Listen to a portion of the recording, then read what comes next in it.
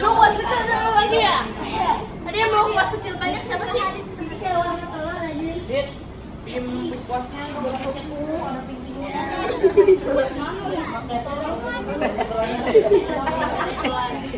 Nih, dia kayak waktu itu.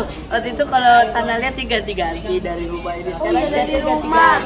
Dari rumah. Dek, dek, dek.